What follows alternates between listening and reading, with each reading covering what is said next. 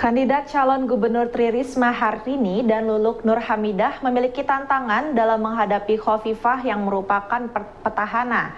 Selain memiliki pengalaman pemimpin Jatim, Khofifah juga memiliki popularitas yang kuat hingga akar rumput. Hal ini menjadi tantangan tersendiri bagi Risma dan Luluk agar dapat mengkomunikasikan visi misinya yang mampu mencuri perhatian publik Jawa Timur.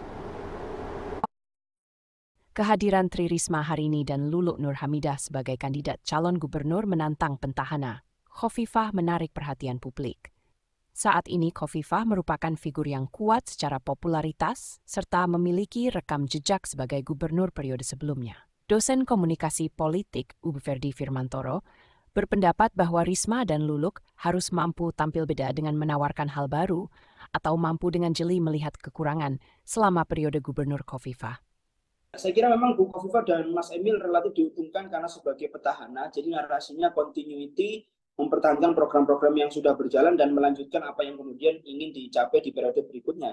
Sementara tidak ada jalan lain ya bagi pasangan Bu Risma uh, Gus Hans dengan kemudian Bu Lulu uh, dengan Pak Lukman, tidak ada jalan lain ya selain memang kemudian mengorkestrasi atau melakukan ini ya semacam mengagregasi Eh, ketidakpuasan-ketidakpuasan yang selama ini mungkin masih ada di Jawa Timur terkait dengan kelemahan-kelemahan di beberapa sektor. Saya kira itu penting untuk menjadi sorotan.